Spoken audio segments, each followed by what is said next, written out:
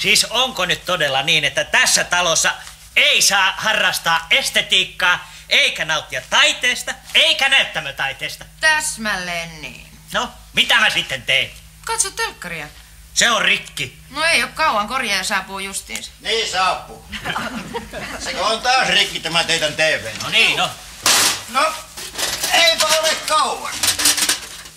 Se on kylläkin, kylläkin on vähän semmoista rikki menevää laatua tää teidän tousa. Three o'clock, four o'clock, rock.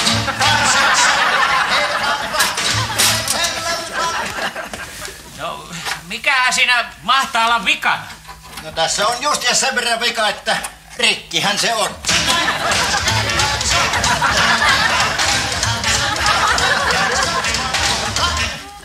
Kestääköhän se kauan tuo korjaaminen? No kyllä se yleensä aina, yleensä aina sen aikaa ottaa, että vikaa pois saa.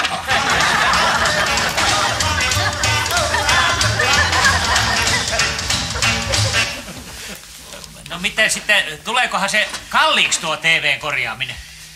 Kyllä se yleensä aina hyvin kalliiksi tulee.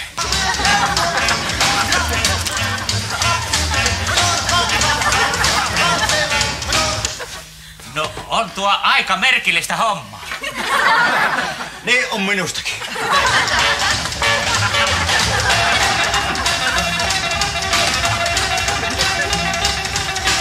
No kertokaa nyt ihmeessä, mistä tuo musiikki tulee ja mitä te aina siellä välillä hypitte?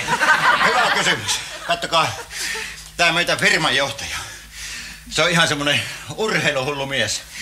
Se osti meille tämmöiset rannekellot, jotka soittaa aina musiikkia vähän väliä. Ja musiikin tahtissa pitää voimistella. Tämä on nimittäin niin sanottua työpaikkaliikuntaa.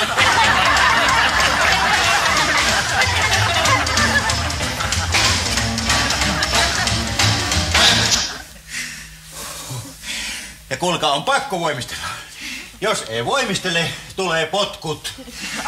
Tämä meitä johtaja sai tämän itään tuolta Jouko Turkalta teatterikoulusta. Sieltäkin saa potkut, jos ei koko ajan voimistele.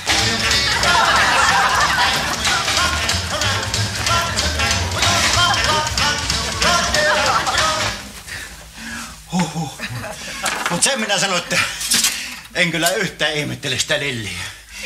Ei tätä meikäläisenkaan kunto kovin kauan kestä. No niin, kunnossa on telkkari. Oli vain roppu palannut, lasku tulee myöhemmin.